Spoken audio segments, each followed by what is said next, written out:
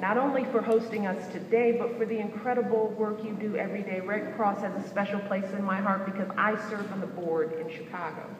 Uh, we have seen the vital role you play for our country over these past few days as you all are working around the clock to help communities in Arkansas and all across the South and the Midwest recovering from a string of devastating tornadoes.